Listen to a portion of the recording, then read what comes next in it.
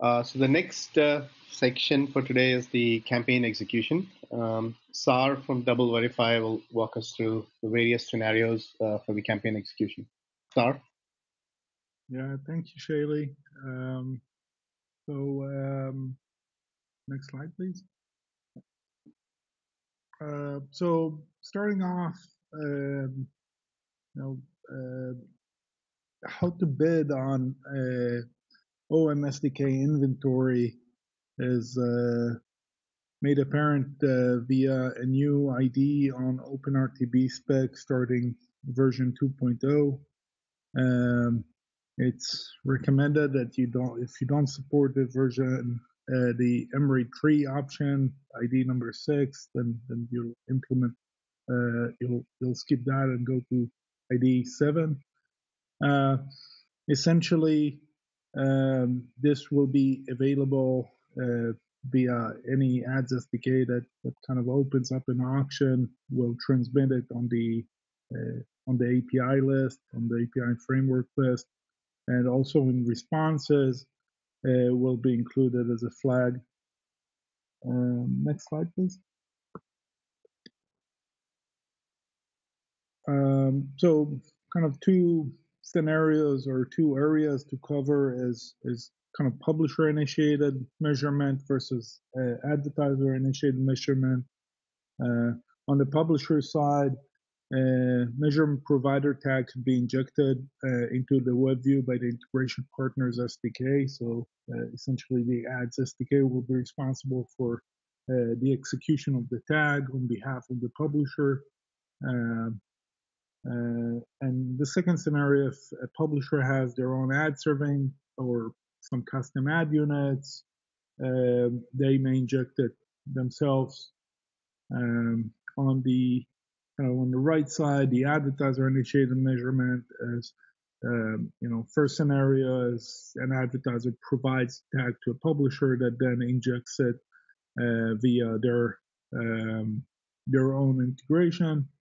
Um, and then the last one is um, tag is included within the creatives HTML. Um, you know, as long as it's injected into the same kind of view, then uh, uh, web view, then uh, it will be able to uh, hand check and communicate with the Omid API. Uh, next slide, please.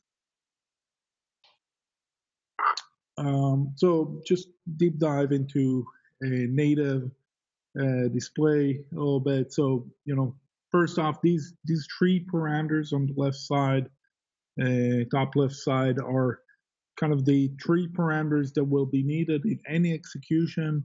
Uh, a vendor key is basically a string identifies the uh, measurement vendor. The verification resource URL is kind of the base URL for the uh, measurement tag. And the verification parameters are basically a set of IDs representing the client, advertiser, publisher, campaign IDs, uh, basically provided by the measurement uh, provider. Um, below, you can see a JSON representation uh, that could be uh, used um, uh, in event trackers uh, on OpenRTB.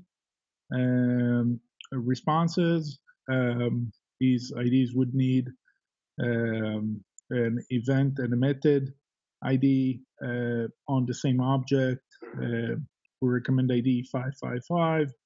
Um, and yeah, if you if you're supporting kind of an older version of the spec uh, 1.1, then uh, you may still use the JS tracker, but that's that's really deprecated in later versions. So it's preferable to use the, uh, the event trackers object, uh, and basically the JSON will be placed in the extension um, associated with it. Next slide, please. Um, for video execution, the um, the VAST 4.1 spec is is upcoming. It's it's uh, kind of in final stages of preparation. Um, again, same same set of parameters need to be provided. Really, the difference between VAST 4.1 on the left side and VAST 2, 3, and 4 on the right side is in VAST 4.1. This ad verification node is kind of first class node in the uh, XML. Uh, in kind of earlier version, this will be an extension. Um, you know, we foresee the uh, versions two, three, and four extensions to be kind of dominant in market uh, in the beginning because it's easier and quicker to implement. And VAST 4.1 is not released yet, but uh, you know, over time, I, I, suspect a lot of migration will happen to VAST 4.1. Uh, one thing to note is you may have multiple verification node within an ad verifications, uh, and also VAST wrappers or VAST redirects may include multiple. Uh, so as you unwrap a VAST tag from from a player perspective, um, you'll you'll have to kind of collect all of them together and execute all of them. Uh, next slide, please. Um, so uh, for summary, um, you know, for video WebView, uh, publisher initiated, um, the measurement provider tag is inserted into the WebView by the integration partner, the SDK. Um, for advertiser initiated in a WebView scenario, this will be delivered via VAST, uh, either through the uh, node or an extension, an earlier version of VAST. Um, for native scenarios, publisher initiated, um, the tag will be um, generated directly and, and, insert injected via um, um, directly into the uh, web view.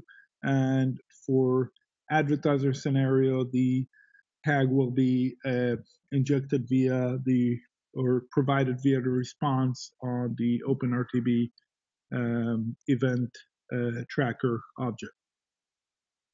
And that's it.